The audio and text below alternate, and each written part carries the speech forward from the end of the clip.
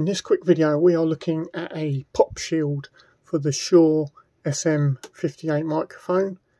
Pretty simple little item but it does the job. If you're tired of uh, hearing breathing noise in your microphone or clicks and pops or maybe some wind noise when you're just using your SM58 without anything on this is the solution for you it's quite simple it just slides on over the top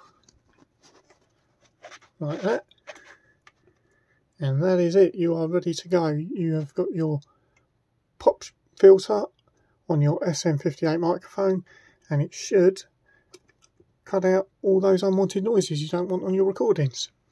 Thanks for watching.